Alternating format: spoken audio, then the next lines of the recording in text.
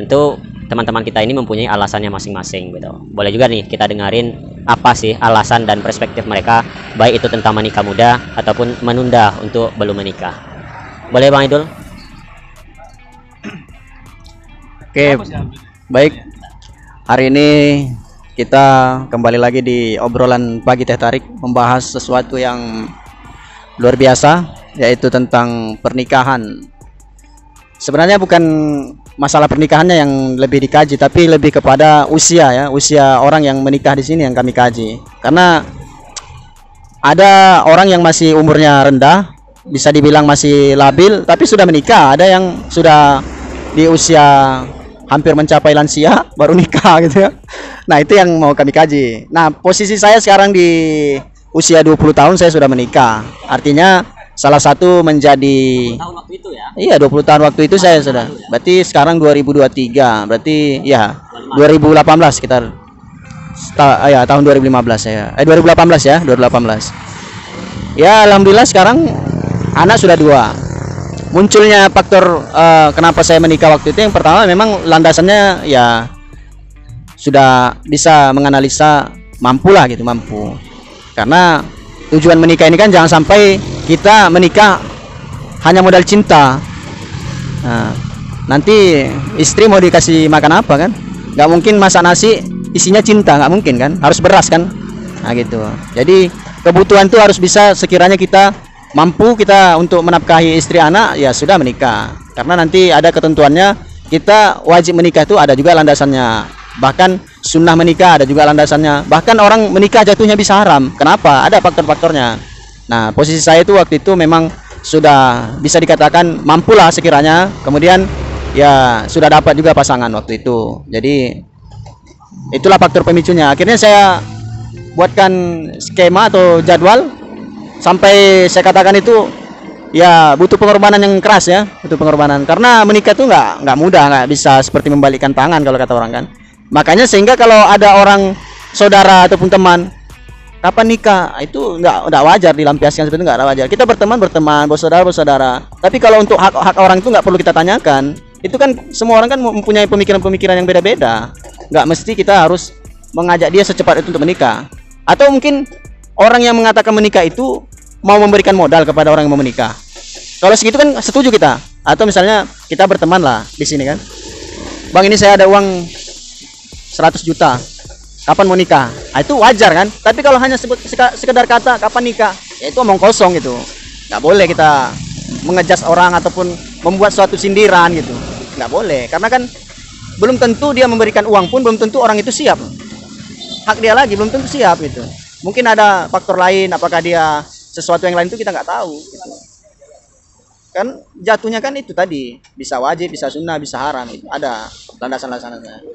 Nah, makanya ini kita coba gali lagi pendapat dari teman kita. Mungkin saya alihkan dulu ke Bang Rio.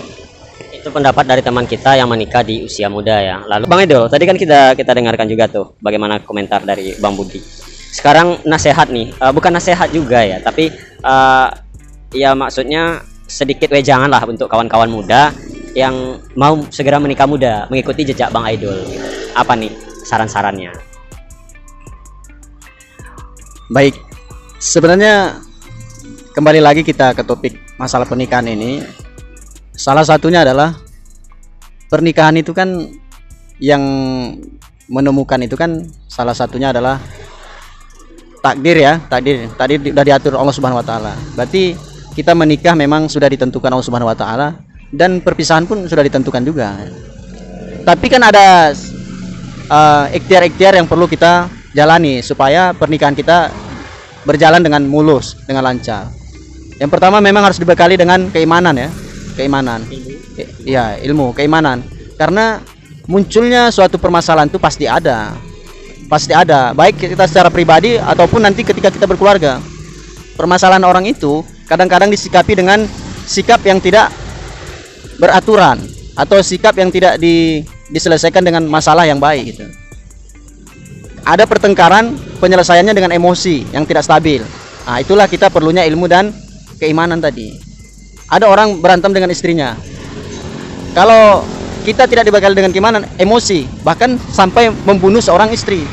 Tapi kalau kita dibekali dengan keimanan, kadang-kadang masuk uh, suatu perkataan yang kita pergi istighfar, sholat, tahajud, itu salah satunya. Kemudian memang faktor pemicu salah satu pernikahan itu adalah ekonomi memang. Banyak tingkat perceraian itu disebabkan karena ekonomi yang buruk. Ekonomi.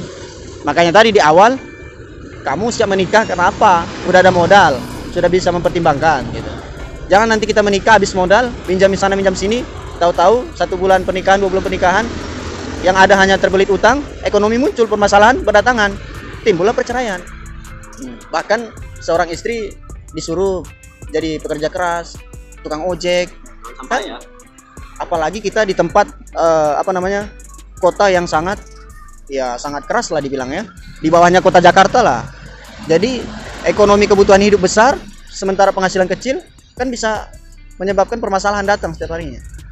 Sedangkan uang banyak pun kadang memang timbul permasalahan apalagi nggak ada uang kan gitu.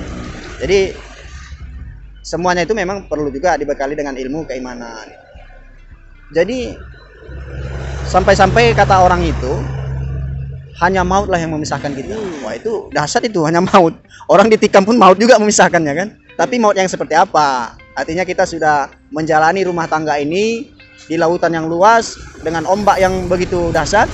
Ya nanti ketika kita sudah tua meninggalnya dengan baik gitu. Kalau di Indonesia salah satu contoh Habibie dan Ainun.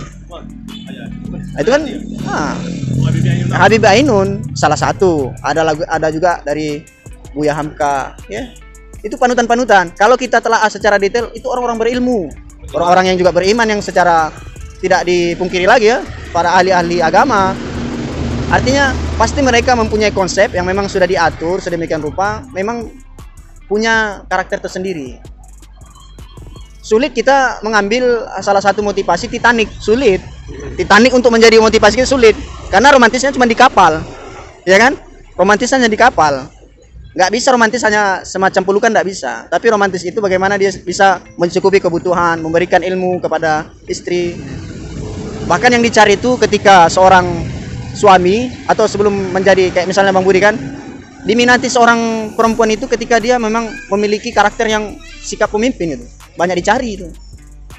Makanya nggak heran istilahnya para para kiai ya istri dua senang mereka menikahi orang yang mempunyai keilmuan yang tinggi atau anggota dewan. Karena secara kepemimpinan dia bisa gitu. Tak diragukan. Jadi jangan tapi jangan disalahgunakan. Rasulullah itu istrinya banyak. Jangan pula kan gitu. Satu dulu satu selesai baru cari yang lain. Kalau satu belum selesai jangan cari dulu yang lain gitu. Mungkin itu sedikit eh, motivasi lah ya dari saya